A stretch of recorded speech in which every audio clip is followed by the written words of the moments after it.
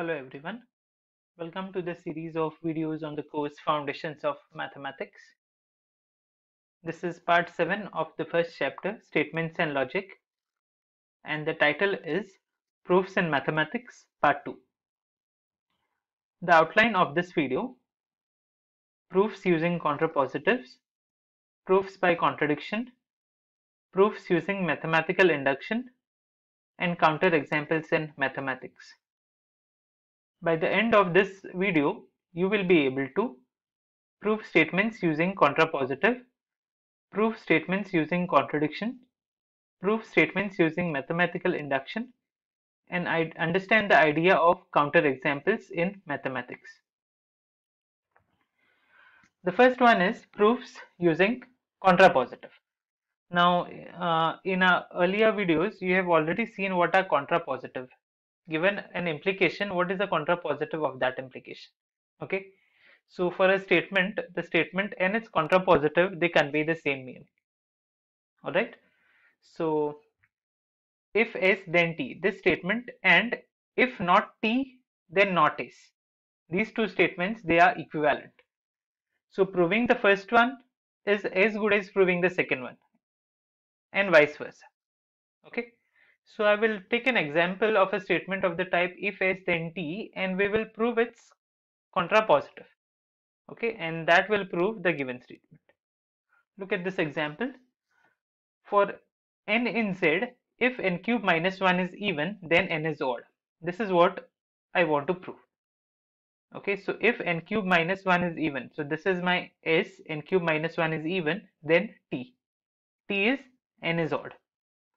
Okay, so what I'll do is I will assume the negation of this t. So I'll assume that n is not odd. That means n is even. And we will prove that n cube minus 1 is not even. That means n cube minus 1 is odd. Alright. So I'll assume that n is even. Suppose n is even. That means n must be of the form 2k for some integer k. Right. Now you look at n cube minus 1 and you drop the value of n that's 2k so 2k the whole cube minus 1 you simplify this that will give you 8k cube minus 1 and now you can write this as 2 into 4k cube minus 1 so this is a number of the form 2 into some integer minus 1 and we know that such numbers are odd numbers. Okay so we prove that n cube minus 1 is odd. And hence if n is even then n cube minus 1 is odd. So we have proved the contrapositive of the given statement and hence the given statement is true because the statement and its contrapositive they are equivalent. Okay. Now proof by contradiction. In proof by contradictions what we do is uh, supposing I have a statement S and I want to prove a statement. Okay, suppose I want to prove that a statement S is true so what we will do is we will assume that S is not true. Okay. S is not true meaning its negation has to be true because exactly one of S and not S has to be true. So S is false that means not S is true. So you assume that not S is true and you use logical reasoning and mathematical facts to show that to arrive at one statement which is always false under the context. Okay. So you will arrive at a, a false statement here which will be a contradiction and you will be getting that contradiction because your assumption is false and hence the statement S is going to be true. So this is the idea of proof by contradiction. Root 2 is irrational. Okay, so this is your 10th standard exam and even in 10th standard you already used contradiction to prove this. Okay, so I'll assume that root 2 is rational. If root 2 is rational then I can write root 2 as a by b where a and b are integers b is not equal to 0 the denominators shouldn't be 0 and a and b have no common factors. Even if they have common factors i'll cancel them cancel them out and i'll assume that a and b have no common factors. Okay? So i will uh, uh, cross multiply b to root 2 and i have a equal to b root 2 i will square both the sides. That gives me a square is equal to 2b square. That means a square is even and if a square is even then a is even okay so a must be of the form 2k for some integer k So I will take this and I will put it in the expression above that is uh, here. Okay. So 4k square that is 2k the whole square that will become 4k square is equal to 2b square. You cancel out 2 and you will end up with b square is equal to 2a square. That means b square is again even because it's a multiple of 2 and hence b is even. Okay. So b is even. So a is even and b is even. So both of them are having 2 as a common factor. That's a contradiction because our assumption said that a and b have no common factors. And now we are uh, coming to a point wherein we have a common factor for a and b.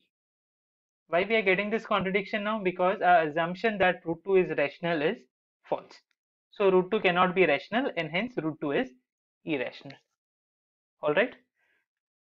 So this is how we use uh, contradictions to prove mathematical statements. Next is uh, proofs by uh, mathematical induction. Okay, supposing I have a statement of the form for all k in S, k has property P, where S is a subset of integers or the set of all the integers. Okay, so for each integer, I want to prove some property P. Okay, so whenever I have such statements with me, I can uh, use the principle of mathematical induction. So I will demonstrate the uh, uh, principle of mathematical induction with an example. Okay, supposing I want to prove the statement, I will name it P of n and the statement is the sum of first n natural numbers is n into n plus 1 by 2. Okay, so what we do is we first prove this statement for n equal to 1. So for n equal to 1, I will have only one number 1 on the left hand side. So left hand side is 1 if n is 1, then this is going to be 2 by 2. So right hand side is also 1. So left hand side is equal to right hand side and hence for n equal to 1, the statement p of 1 holds. Okay. So now we'll assume that the statement is true for some integer k, p of k. So p of k is true, that's what you assume. That means you are assuming that 1 plus 2 plus 3 up till k is k into k plus 1 by 2. And now we prove the statement for the next integer k plus 1 okay so to prove the statement p of k plus 1 so i will uh, take the sum of uh, integers from 1 till k plus 1 1 2 3 up till k plus 1 but i know that the sum of integers from 1 till k is k into k plus 1 by 2 by assumption step. Okay so this is equal to k into k plus 1 by 2 the first half plus the last term that is k plus 1 okay now what you can do is you can take k plus 1 common from here. You will be left with k by 2 plus 1 and again you multiply uh, cross multiply 2 there and that will give you k plus 1 into k plus 2 by 2 okay so we have proved the statement p of k plus 1 and hence by so p of k plus 1 the statement is true. And hence by principle of mathematical induction the statement p of n holds for all natural numbers n okay so this is how you prove mathematical statement using principle of mathematical induction. Counter examples in mathematics. Supposing I have a statement of the form for all x in x, x has a property p. Okay, and I want to show that this statement is false. That means I have to show that its negation is true, right? So I will have to look at its negation. What it says not s would be there exists one point x in x such that x does not have property q. That means to disprove the given statement, to disprove the statement s, what I need to do? I need to find at least one point in x which does not satisfy property p. Okay. So uh, one point, one such point which does not satisfy property P is enough to disprove the given statement of this type. Okay, so let me demonstrate this with an example. Now look at this statement. This says for any real number x, x square is uh, bigger than or equal to x. Okay, so to prove to disprove this statement, I need to find one real number for which x square is less than x right so if I choose uh, x equal to 0.5 then its square is 0.25 okay? And that is strictly less than that is strictly less than uh, 0.5 that means x square is strictly less than x. So the given statement is false. Okay one more.